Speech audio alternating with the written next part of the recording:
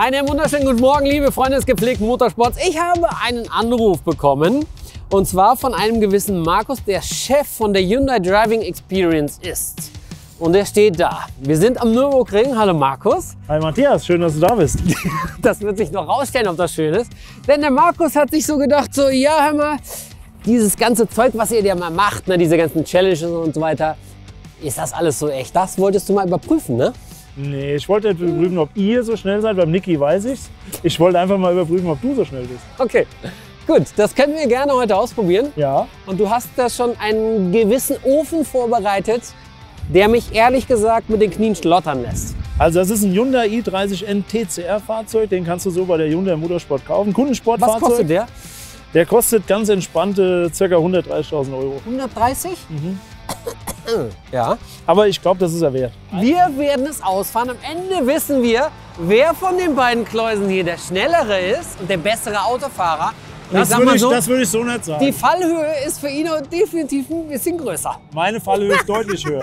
Ja, bevor wir in die drei Challenges gehen, Ja. Matthias, habe ich gedacht, ich gebe dir mal die volle Dröhnung und wir fahren mal eine Taxirunde mit dem Auto. Hast du Bock da drauf? Also du Beifahrer oder was? Nee, nee, nee, nee, nee. Du müsstest Beifahrer sein. Ist das okay für dich oder nicht? Na logisch. Na dann, auf geht's. Muss Lass ich irgendwas reingehen. anziehen oder kann ich so? Du darfst mit Helm fahren. Oh. Ai, ai, ai, ai.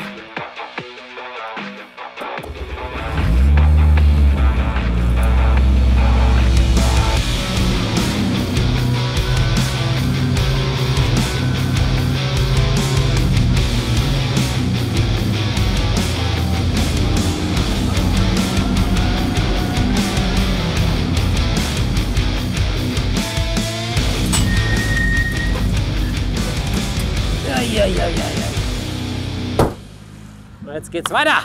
Bam. Also ich sag mal so, das war ja schon mal ein ganz netter Einstieg. Bevor es jetzt richtig losgeht mit den Challenges gegen den Markus, werden wir uns einmal den Reifen angucken, mit dem wir das hier vollziehen. Und zwar ist das der Hankook Ventus S1 Evo 3, ein Ultra High Performance Reifen, der sehr viel von den Autoherstellern schon als Erstausrüstung eingesetzt wird. Und das ist ein sehr gutes Prädikat für diesen Reifen, wie ich finde. Audi RS6, die S-Klasse fährt original Außenwerk mit diesem Reifen. Also das kann auf jeden Fall kein schlechtes Omen sein. Ich bin sehr gespannt. Ultra High Performance. Los geht's, Leute. Drück mir die Daumen.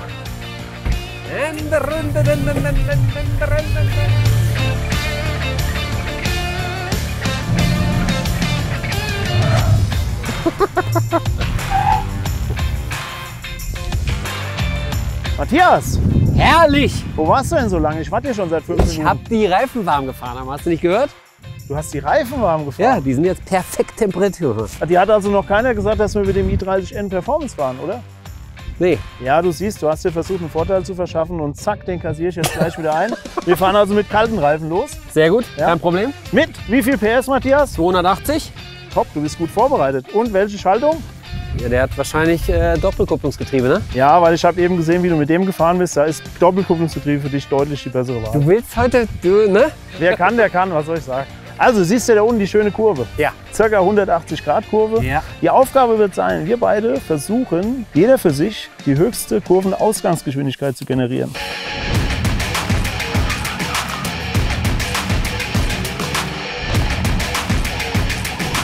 Das ist eine geile Challenge, weil das ist natürlich was, was beim Rennenfahren sehr, sehr wichtig ist. Richtig. Eine der Sachen, die am schwierigsten zu generieren ist. Richtig, weil wir haben mehrere Möglichkeiten, wir können mehrere Linien fahren und es kommt natürlich auch darauf an, ja, nicht zu schnell in die Kurve reinfahren. Das ist so der erste Hint, den ich dir geben würde. Auch für mich gilt das, muss ich auch erstmal umsetzen. Ist nicht so leicht. Dann würde ich sagen, du fängst an. Ja, perfekt. Dann kann ich mir wenigstens ein bisschen was abgucken vielleicht. Ne? Habe mir so... Ah, das ist mein, ah, ich habe extra gewartet, bis ich im Auto sitze, bis ich mich aufrege. Aber da ist auch eine Kamera. es tut immer noch weh. Aua. Fährst du zweiter oder dritter Gang? Dritter. Brauchst du so viel Anlauf? Ja, sieht aber cooler aus.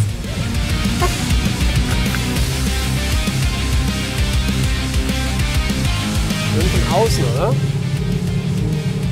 Eieiei. Uiuiuiui. Also das war jetzt. Das war versaut. Ich finde, wir sollten nach dem ersten Versuch abbrechen. Also das war ein Tacho 120 ungefähr. Das ist jetzt dein dritter und Letzter letzter Versuch. Versuch. Matthias, ich gebe alles. Das glaube ich dir, dass du alles gibst.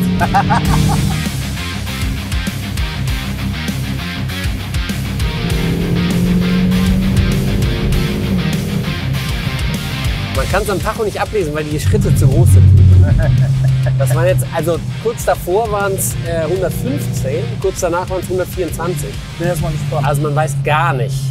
Es wird spannend.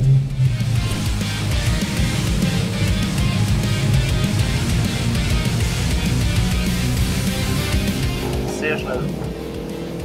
Ein Kompliment vom Chef. Sehr rund gefahren. Schönes Gefühl für die Vorderachse. Sehr gut. Ah. Ah. Schöne Kiesbett gewesen. Ja, der war nicht schlecht. Ja, das sieht gut aus. Ah, jetzt gibt er wieder die Vorderachse. Ruhe. Alter, du hast ja ein Schlachtfeld hier hinterlassen. Das war jetzt ohne Kiesbett. Also ich wage mich überhaupt gar keine Prognose Ich abzuliefern, wer jetzt da schneller war. Ultra krass. Ähm, ist eine volle Konzentrationssache, weil es halt wirklich auf alles ankommt. Aber die Übung hat es schon in sich. Se- Selbst wenn du drei, viermal durchfährst, es sind immer wieder Ja. auch kleine Nuancen, wo du Fehler einbauen ja. kannst. Ja. ja, und wo es einfach auch wieder anders ist ne, Ja. als vorher. Ja. Vor allen Dingen, wenn jetzt Kies auf der Strecke liegt.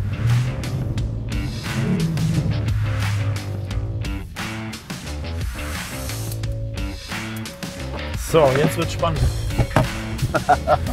Jetzt brauchen wir Ergebnisse. Äh, äh, äh, noch nicht. Gib ihm direkt in die Hand, das gibt es doch nicht. Erste Runde. Ja. Matze 1 111,46. 111. Markus 115,38. Uh, Zweite 119,21. Ich Ja. mit 111. Total Ja. verkackt. Dann 118,03. Du mit 100. Hast du eine 120,81 gemacht. bam! Und das war die sauberste. Herzlichen Glückwunsch. Yes! Alter, das ist aber geil. Du bist jetzt der Leiter, noch mal ganz kurz, der Hyundai Driving Experience. Richtig. Und ich, ich bin schneller durch die Kurve durchgefahren als du, ja? Und ich muss sagen, ich habe es geschafft, dich zu coachen im letzten Durchgang durch das saubere Fahren mich schneller zu machen als mich. Top. Um keine Ausrede verlegen, der Mann.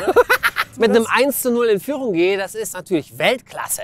Also, wenn wir das jetzt nochmal durchtalken, ne? Fakt ist ja, dass der Reifen, egal ob ganz am Anfang, also sprich noch ein bisschen kalt, oder ganz am Ende schon sehr warm, immer fast gleich abgeliefert hat. Also für mich hat sich der Reifen immer gleich gut angefühlt. Der Vorteil bei diesem Reifen, gerade speziell bei diesem Evo 3, ist für mich, dass dieser Reifen vom Stand weg am performt. Ja? Der Reifen ist sofort da. Den musst du nicht warm fahren. Der funktioniert und er funktioniert aber auch, wenn er warm ist. Das ist ein richtig, richtig guter Reifen. Also er kippt dann nicht weg, sondern er bleibt Nein. halt da und das ist halt ein Nein. Zeichen auch dafür, dass es wirklich ein UHP Ultra High Performance Reifen ist. Richtig. Was machen wir als nächstes?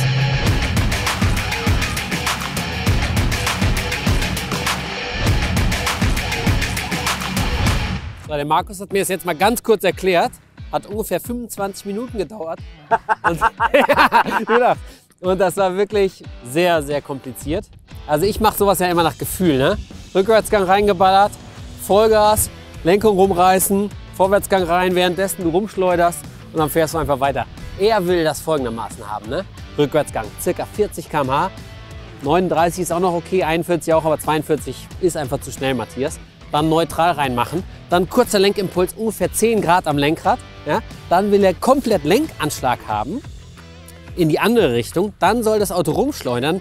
Bei 90 Grad soll dann bitte D eingelegt werden, zurückgelenkt werden, weiter schleudern und dann weiterfahren. Ich lasse einfach schleudern. Also pass auf, du bist jetzt dran. Ja? Du machst das so, wie du gesagt hast, und ich bewerte es. Los, bitte los.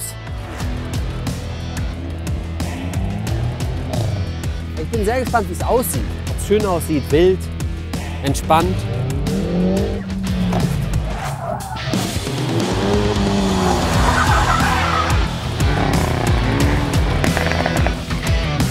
Angehört hat sich schon mal, aber da kann der Markus nichts dafür. Das ist einfach nur das Auto. Also Wende war schön ausgeführt. Danke. Ich probiere es mit ganz viel Gefühl. Perfekt. Hast du dir die Sitzheizung angemacht? Ja, klar, ich friere halt draußen. Also denk dran, auf 10 Uhr kurz anlenken, 10 Uhr und dann so schnell es geht bis zum Lenkanschlag nach links lenken. Er erklärt sich in Wolftour und ich mache hier einfach nur einen auf wild. Ja, er muss erst noch mal gucken, ob die Haare richtig liegen. Das Problem kenne ich nicht. Also der Witz ist ja, ne, er will ja, dass ich so lenke, also quasi einen Impuls geben, dass das Auto fährt und dann komplett in die andere Richtung. Wam, wam. Aber man kann es auch einfach übertreiben, indem man den Lenkimpuls bam, bam macht. Ja? Ich, sei mal ruhig bitte. Bam, bam, richtig einmal dran reißen, dann kommt das Auto so oder so ins Schleudern, wenn man schnell genug ist. Und das ist der Unterschied bei mir. Ich fahre, glaube ich, schneller. In der Belastungsphase.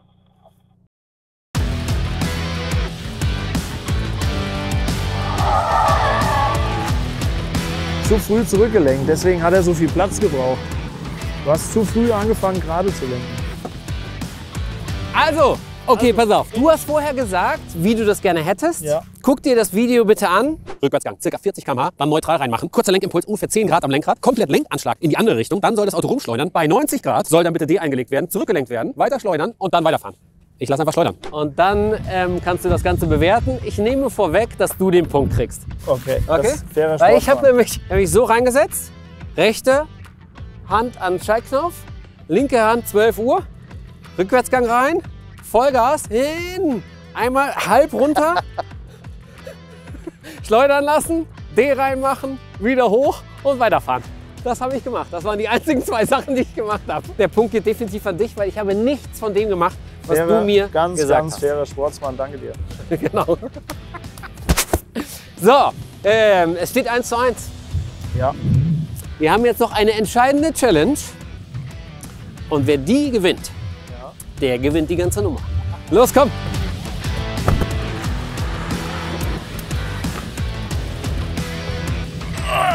Bist du bereit für das große Finale? ich bin bereit fürs große Finale. Was machen wir im großen Finale? Ja, ich würde sagen, äh, wir fahren wieder auf Zeit.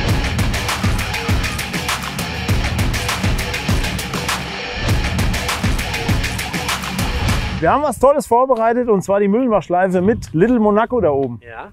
Das heißt, wir werden hier starten, stehender Okay. Start, Ja. fahren insgesamt drei Runden. Ja. Fahren hier zweimal drüber, fliegend Ja. und dann die letzte Runde geht's da durchs Ziel. Okay, also das ist das Starttor, das ist das Zieltor. Und ich nehme an, die kürzeste Zeit gewinnt. Nee, ich würde sagen, die Gesamtzeit zählt. Ja, die Gesamtzeit, die kürzeste Ja klar, Zeit die gewinnt. schnellste Zeit zählt. Dann würde ich sagen, fängst du an. Na dann, auf geht's! Soll ich dir ein bisschen die Handbremse bedienen? Sag mal? Lass das. Lass das. Oh, jetzt. Oh, Alter! Wo bremst du? Oh, Junge! Junge, Junge, Junge! Die Gesamtzeit zählt, ne? Ja. Also muss ich schon sagen, es ist schon sehr, sehr präzise und gleichzeitig unterhaltsam, was du hier machst. Vielen Dank. Oh yes! Ah, kurz in den Drehzahlbegrenzer reingekommen. Gut. Aber der erste, Das war ein das ziemlich grober könnte Schnitzer. der grobe Gamechanger sein. Aber ich muss es erstmal besser machen. Der Reifen hat richtig Geschmack gerade, also von der Temperatur, das ist richtig genial. Hinten auch schöne Temperatur. Ja, Hast du Bock? Bist du ready? ich bleib draußen. Nein! Ah, oh Mann! Du kommst mit!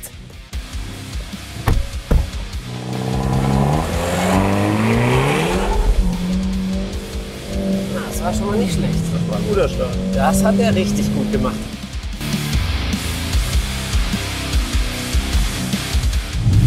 Schön gefahren.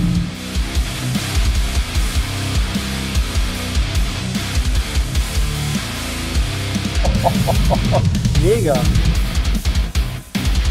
Oh, come on! Oh, Was? voll die Gar nicht. Klar.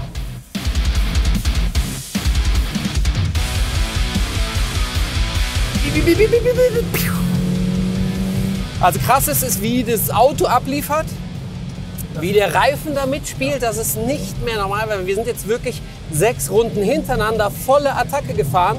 Hier dieses Michael Schumacher S. High Speed, du lenkst da ein, du kannst volles Vertrauen mit diesem Reifen in diese Kurve reingehen. Eine gemeinsame Liaison eingehen und sagen, ja, wir beide, wir machen das jetzt. Und das ist krass, dass du dem Reifen so heftig vertrauen kannst. Und das ist so, dass es wirklich sich nicht verändert. Und es bleibt und bleibt und bleibt und bleibt immer gleich. Das ist eine ganz starke Leistung, ganz ja, ehrlich. Definitiv.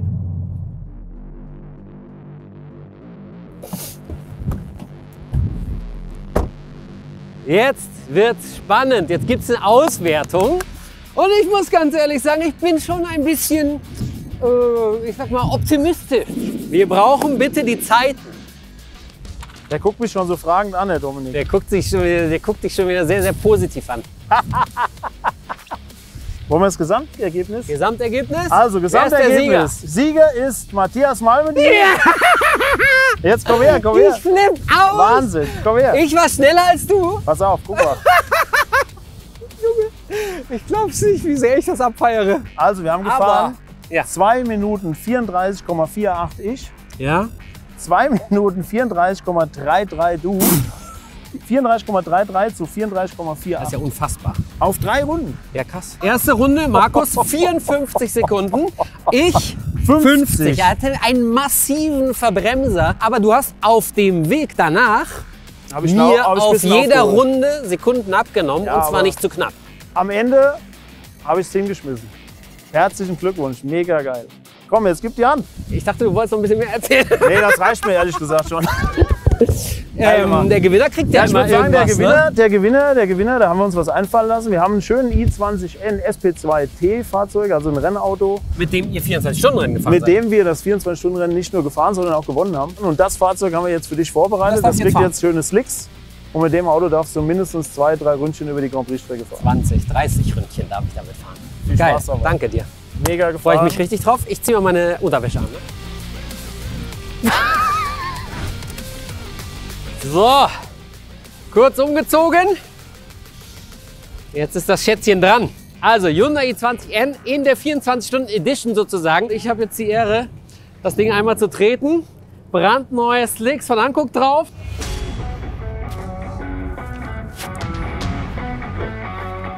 So.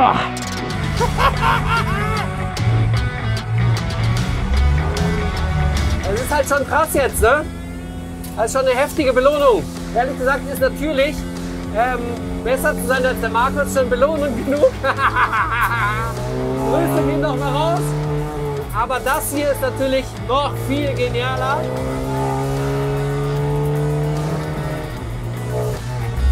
Oh, oh, oh, oh, oh.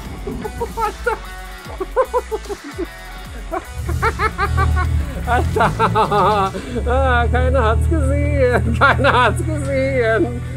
Jawollo, schön das Tötchen hinten rechts gehoben. Oh yes! Alter Schwede, ist das krass, was dieser Reifen für einen Grip entwickelt. Das ist unfassbar. Das unglaublich. Du sitzt in so einem i20R und kannst sie attackieren, das ist nicht mehr normal. Mega schönes Geschenk, Markus. Danke dafür. Küsse gehen raus an Hankook. Danke für diese schöne Experience. Und ich glaube, ganz ehrlich, du kriegst mich hier erstmal nicht mehr raus. Keiner kann mich rausholen. Es gibt keine Regeln, keine Rennleitung. Also ich werde weiterfahren, bis der Tank leer ist. Danke fürs Zugucken, Leute. Hab euch lieb. Ciao, euer Mattes. Tschüss.